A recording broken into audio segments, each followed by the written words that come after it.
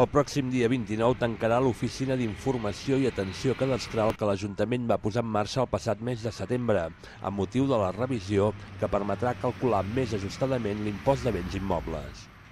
Abans l'Ajuntament publicarà la relació de persones propietàries d'immobles que no han rebut la notificació de la revisió cadastral. Aquestes persones en podran obtenir una còpia a l'oficina. Un cop es tanqui l'oficina, qualsevol consulta relacionada amb el cadastre s'atendrà directament des de les oficines d'atenció ciutadana.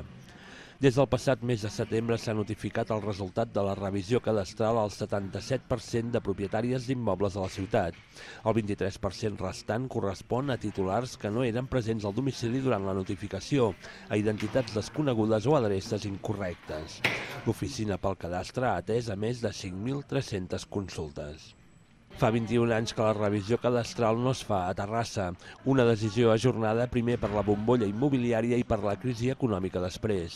El cadastre estableix la base per calcular l'IBI i d'altres tributs. Per reduir l'impacte econòmic familiar, l'augment de la taxa que pertoqui a cadascú s'anirà aplicant progressivament, de manera que pel 2018 l'Ajuntament ha aprovat un increment que no superarà el 5% i ha congelat el tipus impositiu general.